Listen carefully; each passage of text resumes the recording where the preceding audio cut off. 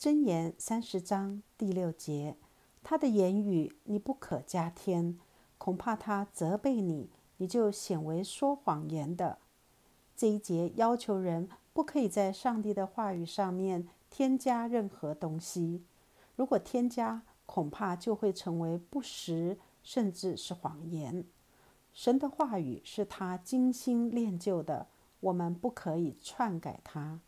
关于神的话语。摩西在《生命记》四章二节也有类似的警告：“所吩咐你们的话，你们不可加添，也不可删减。”使徒约翰在《启示录》二十二章十八节、十九节更强调说：“若有人在这预言上加添什么，神必将写在这书上的灾祸加在他身上；这书上的预言，若有人删去什么，神必从这书上所写的生命树。”和圣城删去他的份，